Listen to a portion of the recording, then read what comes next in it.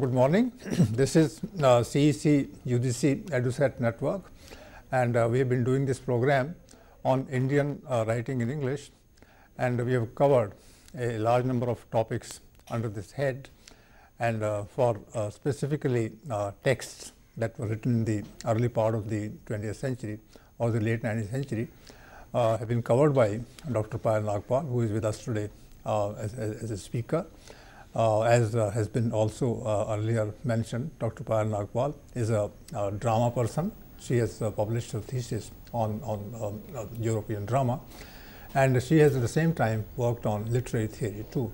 These days, uh, she is engaged with a deep level study of the 19th century texts done in India and today's text that she will be covering, she will be discussing is Girish Karnad's second part of the discussion and uh, she will be taking up uh, uh, wedding album uh, which, which, is one of the later plays of, of, of uh, our contemporary uh, dramatic writer. Uh, without taking much time, I would request Dr. Payal Nagpal to please begin her lecture, give a few things of a general nature about Karnad so that they, they become a backdrop to what she is going to say on uh, wedding album. Dr. Payal Nagpal, welcome and please begin your lecture. Thank you, Dr. Prakash. Um, today's lecture um, will be on uh, Girish Karnad's wedding album. But uh, before we begin a discussion of the play, uh, just uh, you know a, a, few points about Karnad. Uh, as Dr. Prakash mentioned, we've already had one session on Girish Karnad and uh, where we discussed in detail his idea of dramaturgy and uh, some of the plays that he had written in uh, Kannada. So um, he's, um, uh, you know, a playwright born in pre-independent India, a man who saw the craft, who has seen the craft of theatre develop from his experience in a small place like Sirsi uh, to a place like Bombay, and then uh, a shift to the west uh, Uh, you know, when he went on a scholarship. So uh, this, of course, acquainted him with very, very different uh, performance techniques and practices. For instance, uh, uh the kind of context uh, that that was there uh, in Sirsi, and uh, then the shift to Bombay, where he was acquainted with, you know, Alkazi's adaptation and performance of Strindberg's plays, and then, of course, a shift to the West, where he he was acquainted with uh, you know, the, the great uh, European writers and their plays. And um, he realized uh, the vacuum, the gap that was there, uh, according to him, in India, which was uh, that we needed a style uh, that was more akin to the Indian context. And this is something that he tried to evolve in plays like Tughlaq, Nagamandal, Hayvadan, and so on.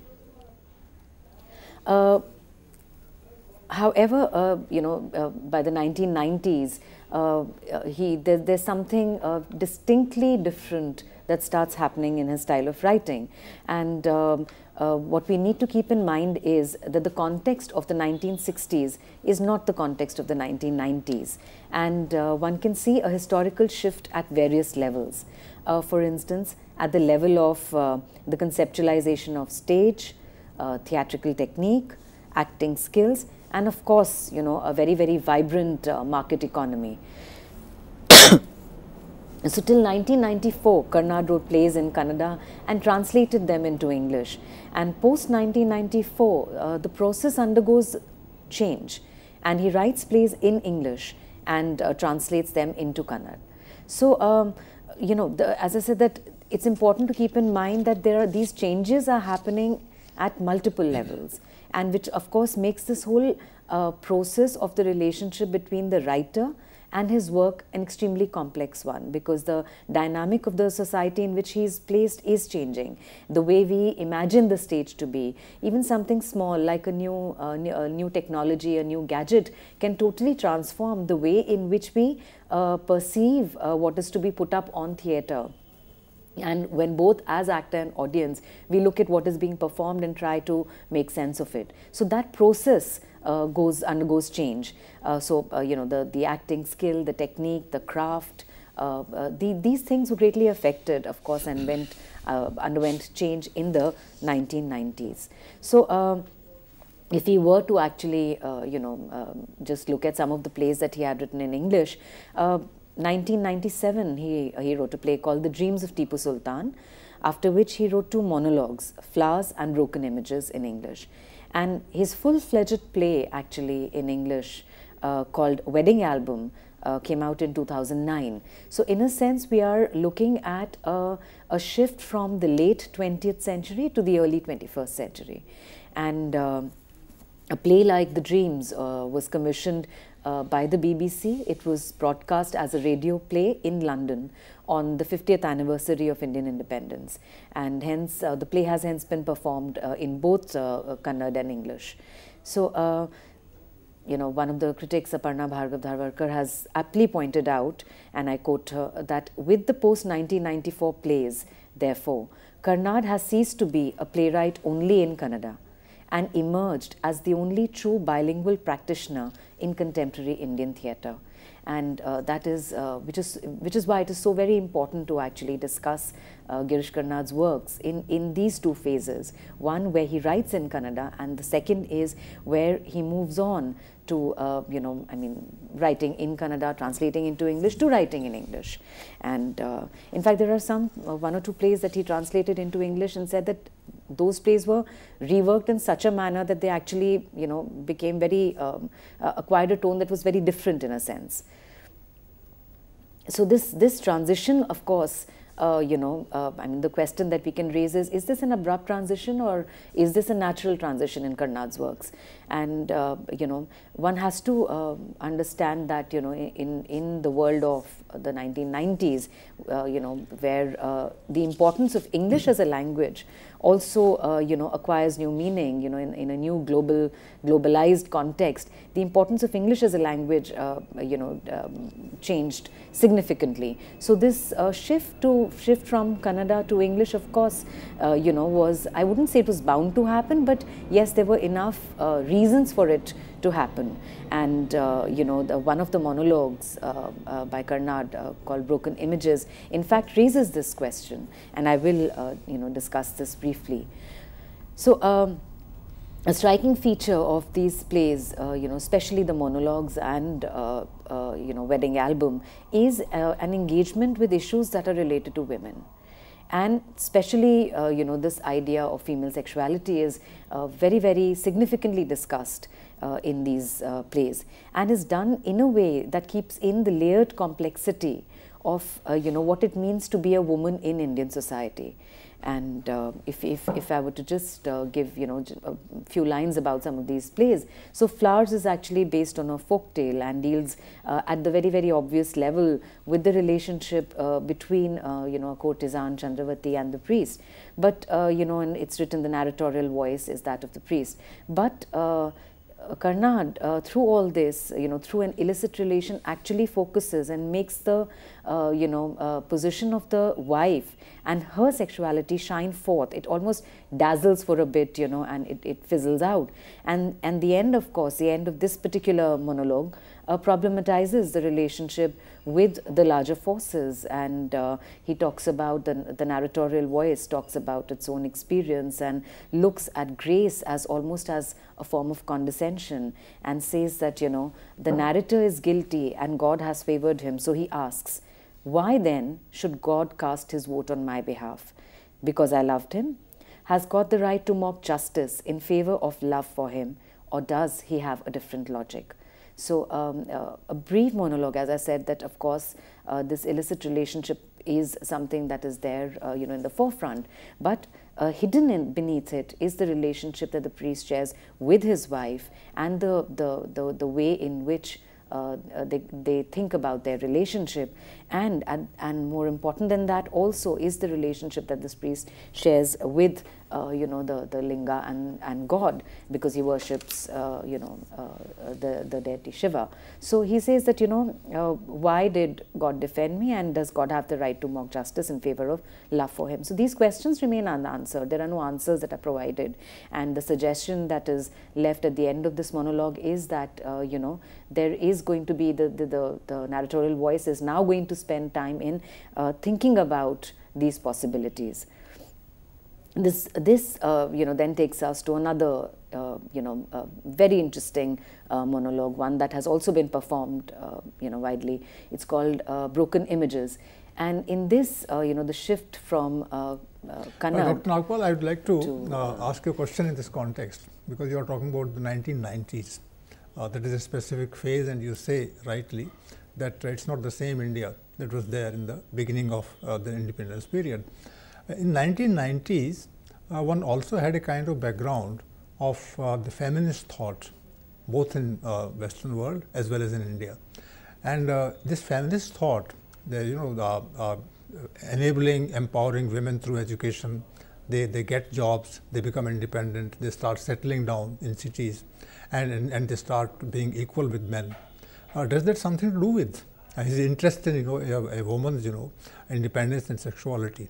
Is there a connection between this and the feminist thought and uh, uh, women's education and things like that? Yes, uh, Dr. Prakash, it's a very interesting point that you've raised because um, where uh, women, female sexuality has been a very, very in, uh, important concern in all of Karnad's plays.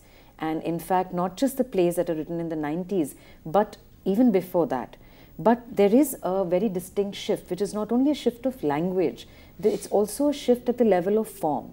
Mm -hmm. Because uh, when uh, uh, Karnad is, uh, you know, writing these monologues in the 1990s, as you very rightly pointed out, that yes, this is the time period where women are receiving education, they are going out to work, the market economy itself has undergone tremendous change that kind of makes space for all these things, mm -hmm. and and so his his uh, treatment and his dealing of these issues is markedly different. Mm. And uh, in a sense, also uh, more forthright, more bold, and there are many different forms in which uh, Karnad is actually doing that. And uh, this actually acquires its full, uh, you know, form, really speaking, with Wedding Album. It's almost as if you know there is something very experimental that is happening vis-a-vis -vis, uh, broken, I mean, flowers and broken images that mm -hmm. really acquires full form in uh, you know wedding album. Which means that he is evolving as a thinker also with respect to these things. Initially, yes. he would be saying things indirectly. Later on, he becomes more focused and that's how you know plays uh, you know get a kind of uh, uplift intellectually speaking. Is that the case? Uh, yes that is the case. Also because uh, he's a thinker also in terms of uh, you know a theater practitioner who's a thinker. Mm. because uh, where he concentrates you know all these issues lie somewhere within the notion of the myth mm. in the earlier plays. When we look at the treatment that is meted out to some of these issues uh, in uh, Broken Images and Wedding Album. So they, they are done very differently. And uh, in fact, I'll be uh, discussing how he uses the naturalistic style actually, something that, you know, he's, he, he thinks a lot about, uh, you know, even when he's working out the idea of the myth in his earlier plays. Mm -hmm. He is able to evolve, uh, you know, an Indian paradigm, so to say, for an, a concept that is actually, you know, uh, initially that emerges maybe in the West. This is interesting. So, yes, uh, yes. Mm -hmm. So, uh, so uh, this this idea is, uh, you know, uh, quite well brought out in a play like a monologue, Broken Images.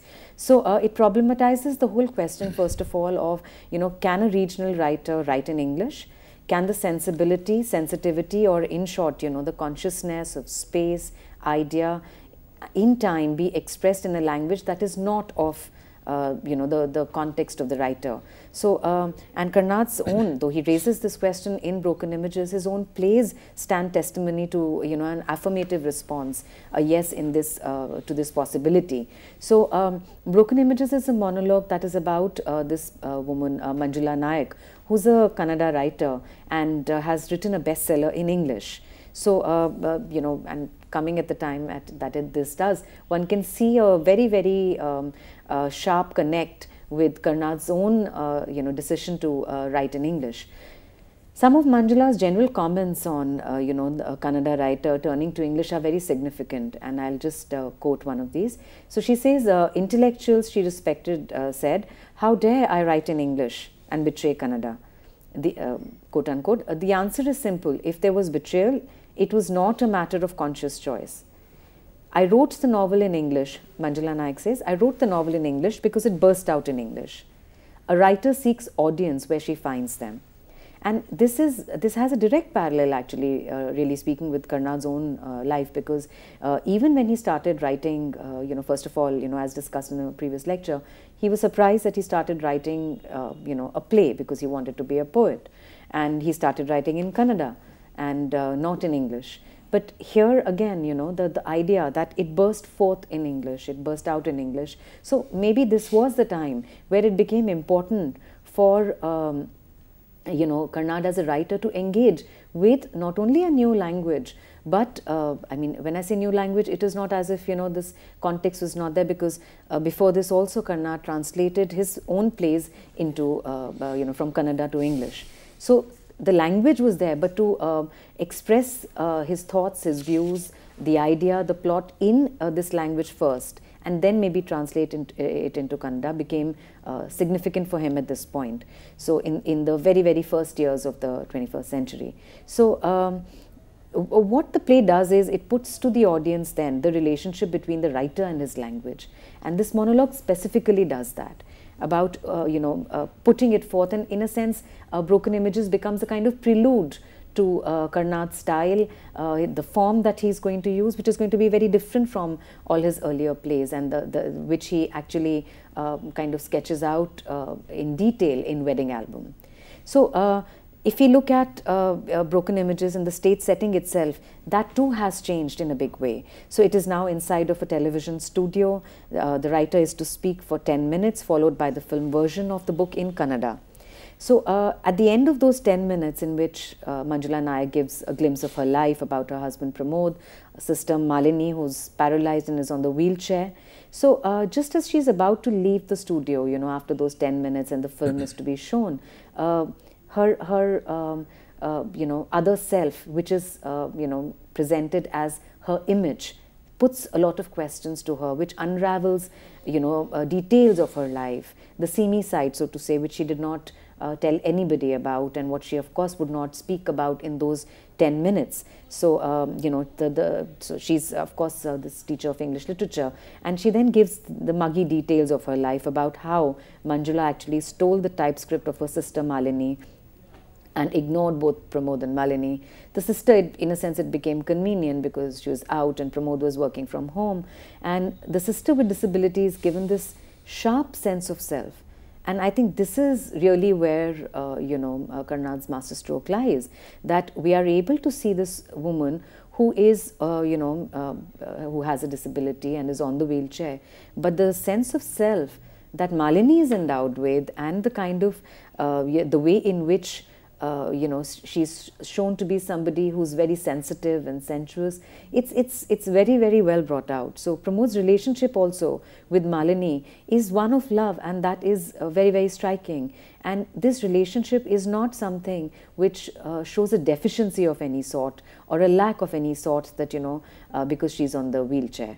So, um, and there, that is where, you know, Manjula's own insecurities creep in and her need to enter the world of English writing as she knows that uh, you know this novel is certainly going to be a bestseller. So uh, the image at the end of it, however, you know the image and Manjula they they merge and the image takes over. It's not Manjula who speaks at the end of the monologue; it's the image who takes over and says, "I'm," and I quote, "I'm Malini Nayak, the English novelist. Manjula Nayak, the Kannada short story writer, was decimated the moment she read my novel. She thus obliterated all differences of ink and blood and language between us, and at one full stroke morphed into me. So uh, she, the image talks about, you know, how she's going to continue using the name Manjula because, you know, that's the name that the English writers, uh, you know, really been given. But through this name, uh, that's probably just the outer shell. The person who actually speaks is the sister Malini.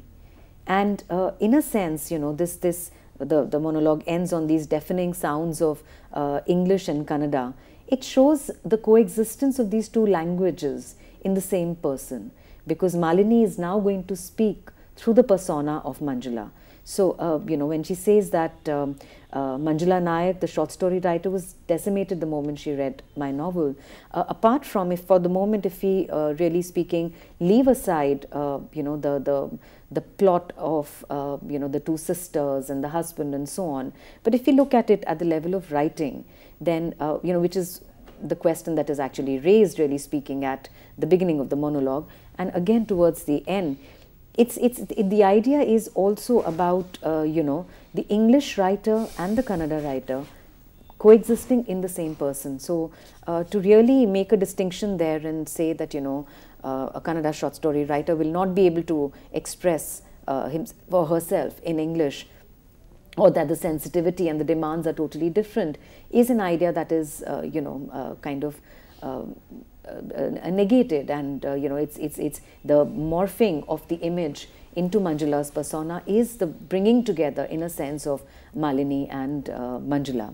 And uh, you know here um, uh, Dr. Prakash has been the course coordinator of this course. So I would also request him to comment a little bit about uh, you know the relationship between the writer and language and the language that he or she chooses to write in. Dr. Nagpal, it's a very uh, difficult aspect to go into because uh, the author is shifting his interest from uh, this, this scene of action, so to say, uh, to the language that uh, he is writing uh, in, he is expressing himself through, which means that the writer is becoming self-reflexive and that self-reflection is taking him away from this context and he becomes himself a carrier of the conflicts that appear in society to be happening. So, it is a uh, it's slightly postmodern in the sense you know that uh, the, the writer uh, is not engaging with the outside world, but, but with the virtual world. And you very rightly pointed out and I was really fascinated by that idea when you said you know that the author is not actually speaking through his own, but through his image mm. and his image in fact is governing his practice. So, now this is an area which is uh, in my opinion uh, well it poses problems because if the writer is face to face with something that he has to do this is the usual literary practice all over uh, human history. And in the latter half of the 20th century uh, there are writers you know who, who, who, are writing about themselves about about their personal psych psychological dilemmas and then about the virtual reality. So uh, well uh, this virtual reality can be counterproductive also. Mm. so it, it, can be academic. You know you sit in a uh, uh, in a room and you discuss things and after some time you, you start realizing that this, the room is the world whereas the room may be outside the world mm -hmm. and the room may be part of the world. Now, that particular vital link between the in the room where the uh, writer sits and the world which governs the whole thing, that, that vital link seems to be, if not snapped, at least weakened. Mm, yeah. This is the problem that, that, that I face while uh, you know, considering this point. Yes, uh, well, where this is largely true, but if we look at it also in terms of the entire oeuvre of maybe, um, uh, you know, Karnad's plays and what he's written.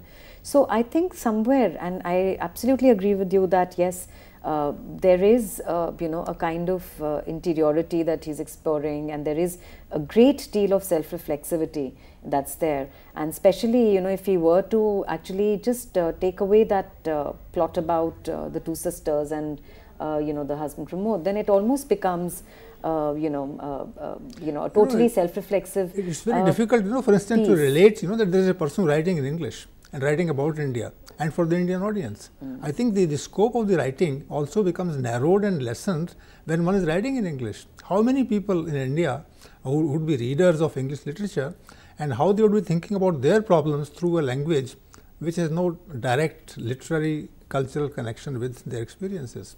This is a point and uh, uh, maybe it's a new world that is unfolding. This world is of technology where a lot of money, lots of investment is taking place and people are talking only about themselves. And uh, well, there, there is 60, 70 percent of India which is kept out of this. This is the problem that is so, occurring. Uh, in fact, uh, there are these two or three things. One is that uh, at the level of self-reflexivity, I think this monologue particularly preempts, in a sense, what Karnad is going to write about in 2009, which is uh, his play Wedding mm. Album, mm. and uh, the, the published form that is. And uh, he does, in fact, bring up exactly this point that you just raised, raised, that, you know, writer writing in English is going to be charged with this notion that, you know, he is, he or she is governed by Manjula Nayak, the mouthpiece in a sense, uh, says that, yes, uh, you know, that she is being governed by the market economy and so on.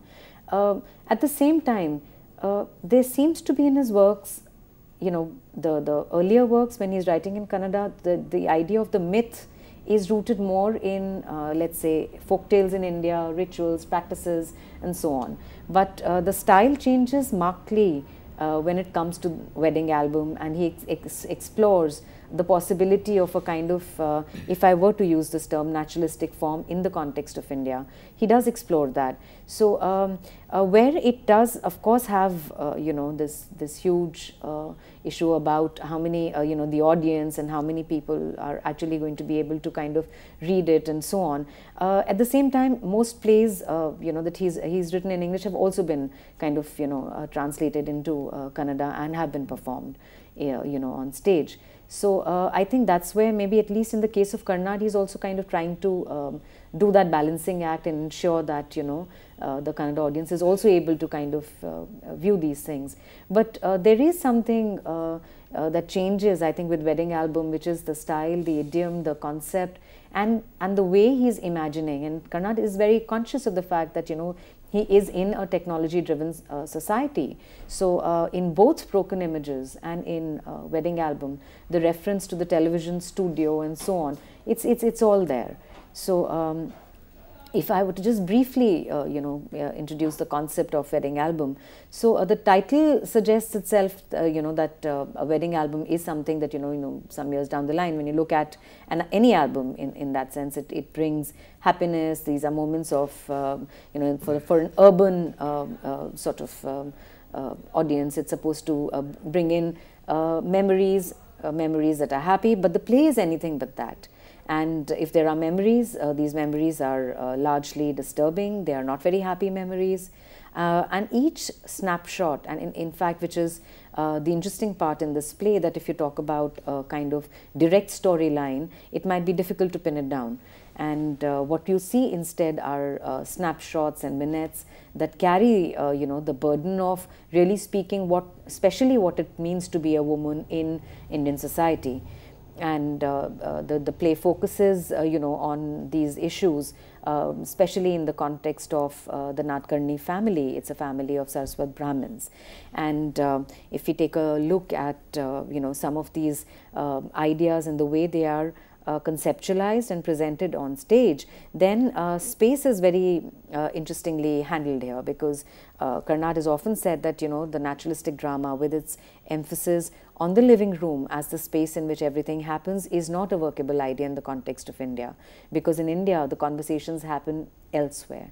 Maybe in the in the kitchen in in the courtyard in uh, you know uh, these other small spaces where uh, women are uh, you know talking to each other gossiping and so on. So um, the most intense conversations particularly you know it's it's it's it's, it's when these women are looking at their saris and uh, uh, talking about it and discussing their kanjivarams and so on. So uh, in this play you know as Amrit Srinivasan in the forward to the play mentions that though this is a play titled wedding album and uh, you know one would think about the bedroom as a space but that is not something that is presented in the play. But yes the kitchen the courtyard and the living room then there are other places you know for instance a restaurant the cyber cafe, the television studio, they, they, they are all there. So um, uh, with a wedding album, uh, I think he's, uh, uh Girish Karnad is certainly embarking on uh, a style uh, that is different because it's, it's a style that, you know, he's not really kind of looked at in his, in all his earlier plays. So with this, we, we you know, look at what is called, and Srinivasan has called it the modern myth, in the forward. So, you know, how in the modern world are you going to kind of rework this notion of the myth is, is a question I think that Karnad is engaging with.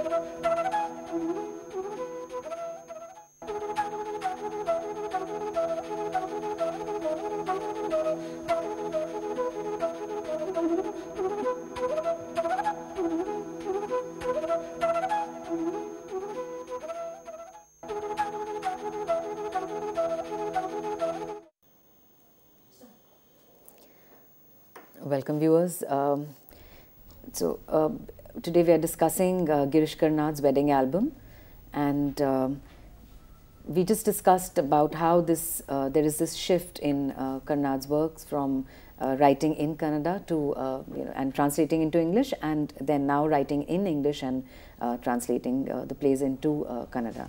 So if we if we look at the characters, the different characters that are there in Wedding Album, a wedding album which is uh, you know visualized in terms of these snapshots. So it's it's uh, you know of course it, it, the story is about a wedding that takes place in the Nadkarni family. And uh, it's a family of Saraswat Brahmins. And um, the wedding which is supposed to be all totally festive and so on is uh, you know uh, a moment that actually brings out all uh, the frictions you know that are uh, and the undercurrents that are there amongst the members of the family and uh, you know the course that their lives take and so on. So if we look at uh, some of the characters in this play uh, if you look at the women of the Nadkarni family we have the mother uh, we have the two sisters uh, where the elder sister is Hema and then we have Vidula. Vidula is the one who is to get married. So um, Hema is already married and she's married to this expat and stays in Australia has a son and a daughter. Uh, we then have, uh, you know, outside of the Nadkarni family, there are two very important women, Pratibha, and she's the TV producer. In fact, there are two scenes in the play where all the other scenes are, in a sense, you know, happening three years back there are two scenes the first and there's another scene in the in the play uh, that happen uh, you know in the present moment so um, there is uh, this, you know, kind of uh, division in terms of time also that uh, Karnad is experimenting with here. But um, uh, it, it's, it's done uh, very neatly. And uh, the, the TV producer is looking at Vidula's story. Pratibha is the TV producer, and she's looking at Vidula's story and actually rejects that. And she prefers, you know, the, the housemaid, the help, uh, Radhabai, she prefers her story to Vidula's story. So um, there's Pratibha, and then there's of course Radhabai, who's uh, you know uh, the uh, cook in the uh, Nadkarni family. Now there are women who do not appear in this play, but uh, they are referred to. For instance, uh, there's Isabel and there's Tapasya. Tapasya is um, you know Rohit Nadkarni's wife, and Isabel is the woman that he was seeing earlier. And then there is a very, very, very momentary reference to Hema's daughter Samyukta the men in the play, uh, father, uh, then uh, you know you have um, Hema and Vidula's brother Rohit, as just mentioned. There's a young boy, the neighbor Vivan, and uh, there is uh, this um, the prospective groom uh, Ashwin Panjay. And then there are again, like the women, there are men who do not appear in the play. For instance, the son, um, as in um, Hema's son, then Hema's husband, and a very important figure, uh, you know, the, the uncle of uh, these two sisters, Uncle Ramdas, and um, the, the father's jewel brother, who's, who's no longer there. So uh, this is a typical situation of an arranged marriage of a girl to a suitable expatriate boy. And as mentioned, you know, you know, in the, the, the flap of the book itself introduces this idea, how in a South Indian family, this is the context so, uh, in a sense, uh, for once now, uh, Karnad is dealing with, uh, you know, uh, an, uh, an upper middle class, um, you know, family um, of Saraswat Brahmins who visualize their daughter, daughter's future, in this case, as in marriage, an arranged marriage, and one with, you know, a suitable boy. And the suitable boy is one who settled abroad. So uh, it become, becomes a way of unraveling many contradictions and inconsistencies, really speaking, within the family. And these totally ruffle and disturb the external cover of, you know, happiness and prosperity, so to say. So um, the elder sister, Hema, had a similar uh, kind of marriage where, uh, you know, the, the boy stayed in Australia. He did not want any dowry. And uh, Hema, uh, of course, somehow, for some reason, throughout uh, the play, she laments this lack the fact that she was not given any uh, dowry at the time of her marriage and you know the husband was taken very literally uh, uh, you know in terms of um, uh, when he said that he did not want anything so she was also not given anything. And um, and she co continues to make the family feel extremely guilty about this. So um, reinforcing stereotypes, uh, she continues, you know, Hema on her part also reinforces a lot of these stereotypes and continues to call up her son and generally ignores the daughter. It's only when she gets to know Radhabai's story, uh, you know, about how Radhabai had ignored her own daughter, uh, you know, and that's the little uh, story that's there, a story that Pratibha, the uh, television producer, prefers, uh, you know, to that of, say, Vidula. Vidula's marriage, of course, is going to be on the same lines as that of uh, Hema, except for the fact that you know she is going to be given a little more as compared to uh, Hema. The, the circumstances of the family are slightly different now. So um, one would think that uh, in the 21st century, uh, women's lives would be more modern and rational in a sense in their approach.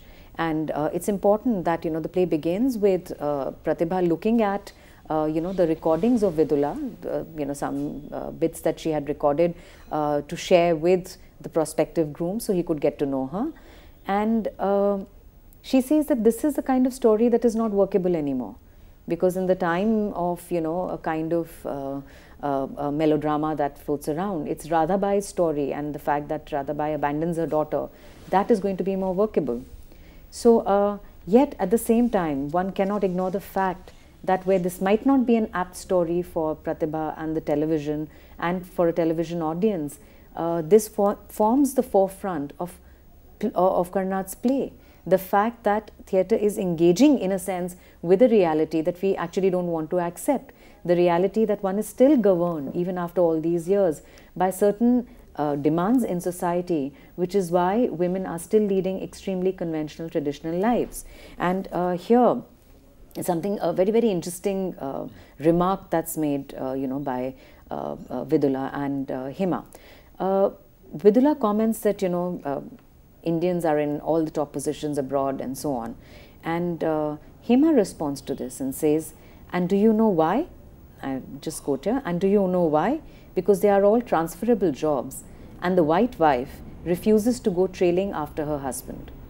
We Indian women, on the other hand, are obedient Sati Savitris, ever willing to follow in our husband's footsteps. Look at me Melbourne, Johannesburg, Singapore, and now Sydney. Our men may get all the top jobs, but I am no better off than Ma. So, quote unquote. So, from the generation of the mother to the present generation, where uh, you know women like uh, Hema and at the end of the play, Vidula is also going to follow a very, very similar track, uh, you know, following the husband wherever he goes. So uh, there is this great sense of unhappiness in the mother particularly. That's very, very, that sense is very sharp because she had obviously thought that this was something that happened in her time. And now with all this education and everything, maybe her daughters are going to do something with their lives. And, uh, you know, she, uh, of course, says, says it uh, very, very clearly. So um, the unhappiness is visible, but at the same time we see that you know both Hema, uh, you know, and Vidula are in a sense uh, kind of still uh, continuing to play out these stereotypes uh, that are there uh, for women. So if you look at Vidula's character, she's extremely insecure about what is to happen. Uh, this this marrying somebody who she's never met, who stays abroad. She's had no conversation with this person, and it seems to be the norm. And she somehow she just gives in very willingly to it. She decides to marry a man and she that who she does not know at all. And this is something that the mother is very unhappy about. And uh, when ashwin the uh, prospective groom is uh, when he postpones his visit a bit uh, bringing it closer to the day of the marriage.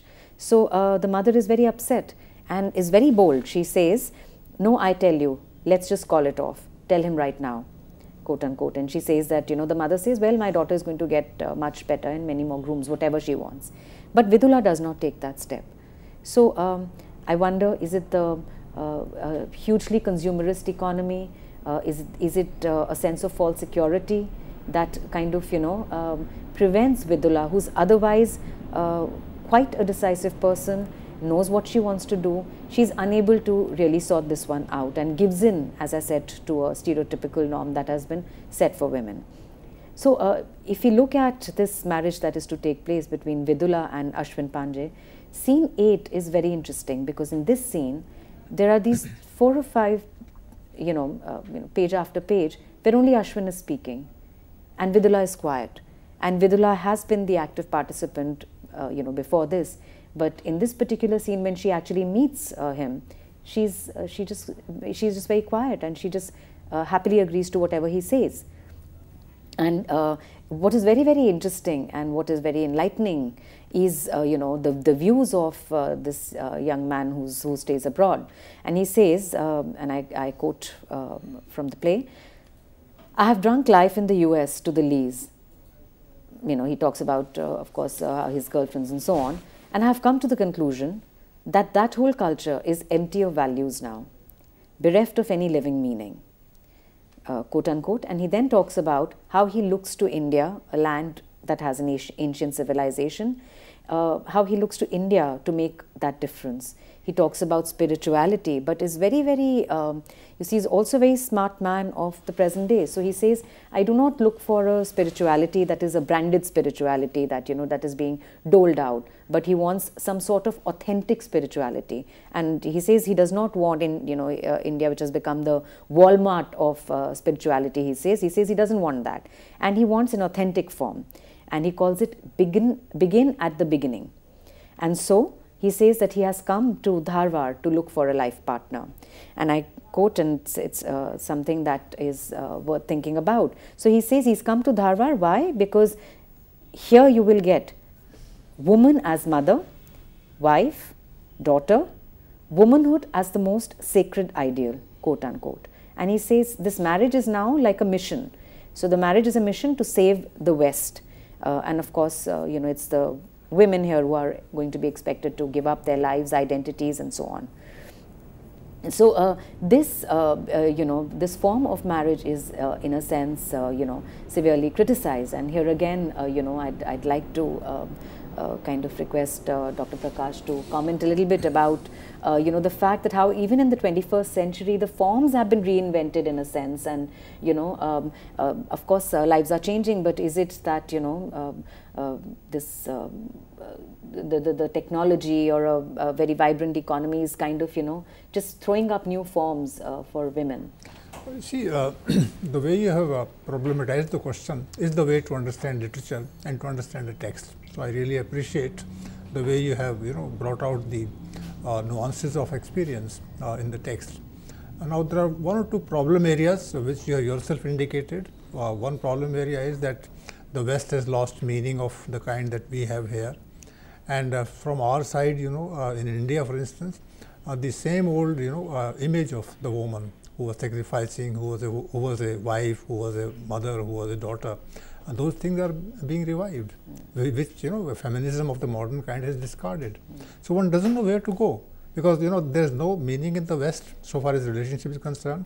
And the kind of relationship that is being evoked in India, that relationship, well, to, uh, to some people, uh, would be outdated. So one doesn't know where to go. Mm. So there seems to be a kind of vacuum here. And maybe, even though Girish Karnad may, may, not say so, and the characters may not believe in, but I think marriage institution has come under a very heavy attack by, by, by the way things unfold in the play, in spite of the writer. Yes. What do you say? Absolutely. I think he sees the, the very fact that the title of the play is Wedding Album. And, uh, you know, in fact, I made that comment that uh, there's anything but happiness there in this, uh, you know, wedding album. The idea is that the memories that are evoked, the thoughts, um, they are these are not happy ones. And uh, these are actually uh, you know through these snapshots he's he's actually uh, raising a lot of questions about uh, you know the position of women in this new world. And how how different is it really speaking from an earlier generation? In fact in some instances the mother's life seems to be uh, kind of more seems to be in a sense better than that of the daughters. Better only in the sense when the mother says that at least she she had met uh, you know, their father a couple of times. And here is Vidula who just meets this man, uh, you know, just, just like a couple of days before the wedding is to take place. So, um, and related to marriage is this this whole idea of the development of sexuality that is that forms a very very uh, central core uh, in a sense, to this play. For instance, Hema, who's a mother of two children, and uh, you know, she uh, this this young uh, uh, boy who's who stays who's who's a neighbor, Vivan, is um, is very very attracted to Hema, and he keeps writing these letters, and he's he's read Madame Bovary, and he's read Lady Chatterley's Lover, and at the same time, there is also this reference to the male cook in the house uh, Uh, you know, who had uh, at some stage who had, uh, you know, uh, tried to exploit uh, both Hema and Vidula as, as young girls. And see, um, the point is that you are making, I think it's a very important point. the woman is looking for some kind of happiness in life which is not available in marriage. Is it available with these young people that, that, that she is having a kind of alliance? The, the, the woman character? Um, actually, it's not as if Hema has an alliance uh, with Vivan. Vivan keeps writing to her, and uh, to, at the end of the play, he does not feel that need because you know uh, another friend of his, uh, his age, a girl, is coming, and he, he sends a blank paper uh, to Hema. But uh, the fact that Hema is very disturbed by these advances, and she also somewhere enjoys reading those letters, does not tell anybody about it, and in that Vivan only kind of feels more encouraged to write to her.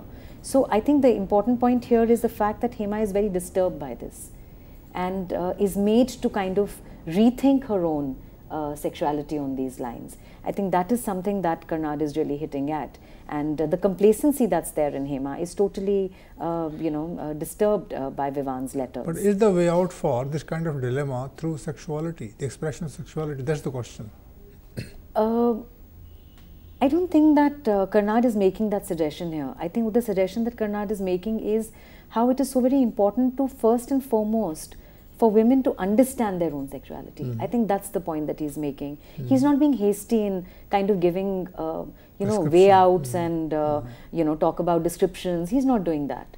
He's he's talking about. Uh, you know, and this is a question that will actually, uh, really speaking, be answered in the context of Vidula. Mm. And uh, he's, he's not suggesting any uh, solutions and ready-made solutions as, as there are none. And he sees marriage as, as an institution that is totally, uh, you know, uh, really uh, decrepit in a sense.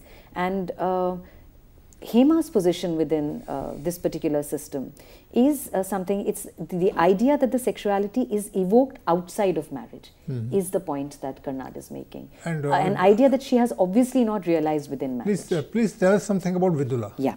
Uh, so it's actually in Vidula's case that uh, you know these these questions are really speaking um, you know, in a sense, answered or uh, fleshed out very beautifully. So Vidula has, uh, you know, this uh, uh, uh, instance in the cyber cafe. And uh, you know she's she's engaging in a relationship in uh, you know virtual reality. And she has this other person who's who does not who she does not know. So it's a nameless person. And that in a sense gives her some kind of security. And that becomes that relationship becomes a way of a way in which Vidula explores her own sexuality. It's a very bold scene and uh, she her last meeting which is actually the one of the scenes in the play she immediately tells the stranger that she has been sold off. And it's interesting how you know karnad is using this statement because um, her interaction with the stranger and uh, which is an amorous interaction here it's not as if you know there is any kind of uh, sense of being sold off the sense of being sold off is within marriage and she's very clear about that so um, her boldness, uh, you know, is, is pretty much there. And uh, when uh, you know the the local goons come, and you know, it seems they've been tracking her because they suspect that she is uh, you know engaging in these virtual acts. So they they track her and they uh, forcefully they enter the the cyber cafe, and in doing that, uh, she faces them very boldly. And the reason that she's let off by these goons is because she's of the same caste. And uh, so it's it's in in that one moment karnad has really been able to bring together not only uh, you know the the uh, position of women but the complexities that are there and how the society is totally layered and women are kind of you know struggling at various levels. And and here in this case you know vidula is just lucky to have been let off which means there are there are two things that you are saying that you know in the case of vidula the uh, idea of boldness is asserted. The woman is supposed to be bold. Yes. This boldness will uh, later on reassure a kind of happiness to her. And the second thing is that, that, that the woman has to make her own decisions. Yes. And uh, if the decisions are done by her, then of course some kind of happiness can be ensured later in life. What do you Uh, say? Actually, uh, again, uh, two, three things here. One, that, you know, in, in of course, keeping with the times, uh, in this particular play, Karnad has made distance technology itself, and Amrit Srinivasan in the foreword to the play, he, he mentions this, the distance technology has become like a character in the play. So, the stranger, you know, with whom she's exploring her sexuality, is a very very uh, significant point because Vidula who's otherwise been told that you know she's not a very decisive person is extremely clear very decisive and uh, is uh, very very bold. But when she moves out of that space the cyber cafe is the space where she's in a sense free of all these things. But when she moves outside that space she opts for a very very conventional uh, you know, uh, solution in life, which is to get married to this uh, boy who stays abroad. And so much so that she changes her lifestyle, she gives up eating fish, she uh, decides to be everything that a perfect Indian woman is supposed to be by that paradigm. And that's the complexity that Karnad is hitting out at. That there is something drastically wrong, that we can't give up by saying that, you know, uh, this is the 21st century and things have changed.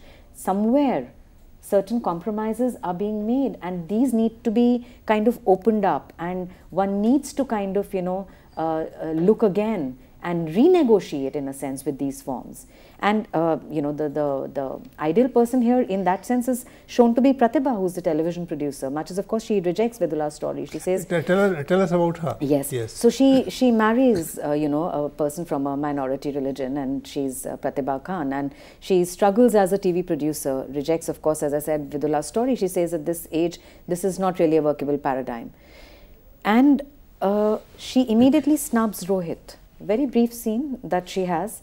But she snubs Rohit because Rohit is uh, Vidula Hema's brother who's been uh, courting this Christian woman Isabel. And uh, finally of course decides to settle down with uh, you know again a conventional choice uh, tapasya. The parents have funded his trip to germany and so on much as he continues to deny that. But uh, when his wife is away because uh, she's going to have a baby he invites isabel over. And isabel is disturbed by this and they are working for the same uh, television company and it is pratibha who then snubs rohit and totally tells him off and says that he has no business in inviting her over when his wife is not there.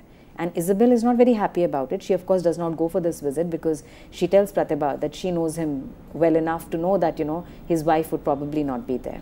So, uh, you know, how, uh, you know, the men are also kind of, uh, you know, playing out the, the, the, the, same old uh, techniques and uh, how even uh, his wife Tapasya, of course, in that sense, is uh, somebody is no better off than either Vidula or maybe Hema, and she's. Um, because he, he, in a sense, you know, maybe he has led them on, maybe he has led her parents on, because he never tells them about Isabel. And uh, she too is on tenterhooks, uh, you see, regarding her own uh, marriage and uh, you know the, the whole idea of the society their expectations and they're all probably thinking that rohit is already engaged to tapasya. And finally of course the marriage does happen and it's it's it is a lucrative one. So that the there is economics to it there is comfort to it there is convenience to it. And all of these things are you know on the side of the powers that be. And the women are supposed to again even in the 21st century make all sorts of adjustments you know as uh, right at the beginning of this play uh, you know hema says that you know the the men might have it all but it's the women who are trailing and carrying their families and so on. So uh, uh, a little bit also about Radhabai, you know, the very interesting story, which, which of course, uh, you know, Pratibha as the producer prefers a story that disturbs again the rubric of uh, you know the middle class middle class society. She's a woman who lost her husband and came to the city to settle with her daughter. The daughter was kind of being kept by uh, you know an elderly man. And when that man dies uh, you know she the the daughter becomes uh, you know goes berserk and does not know what to do with her life. By which time of course the mother radhabai is very well settled in the nadkarni household. And there are two uh, you know suggestions that are given one suggestion that is given is that um, it's, uh, you know, when Radhabai, when she heard her daughter scream in the in, on the streets, uh, she went out to uh, kind of, uh, you know, meet her, and uh, but she had disappeared by then. And at the, the play, however, ends with Radhabai on the note that actually Radhabai, when she heard her daughter scream, she did not go out because she wanted the comfort of you know, the, the, the Nadkarni household.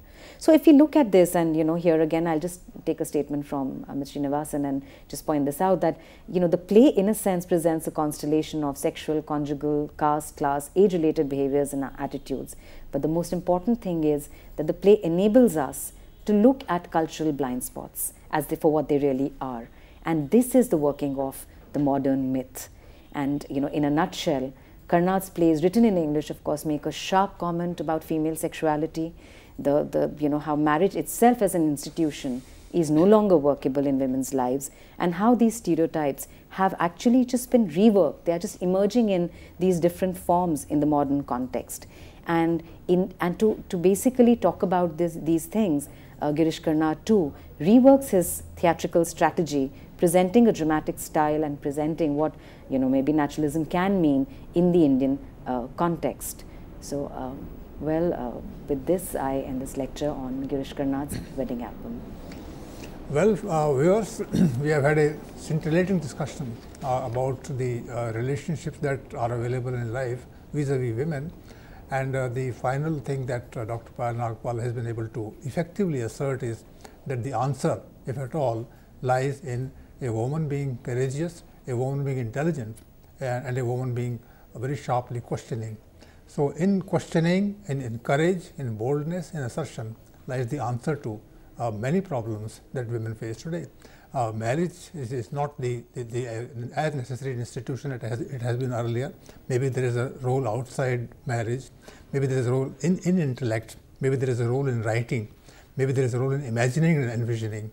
So, these are the pointers you know which are inherently there in the discussion that Dr. Payal presented and uh, uh, thank you very much for giving this kind of an analysis which, which is very very sophisticated uh, in, in the case of Karnad. and uh, I'm sure this will take us further into the domains you know that women are exploring today.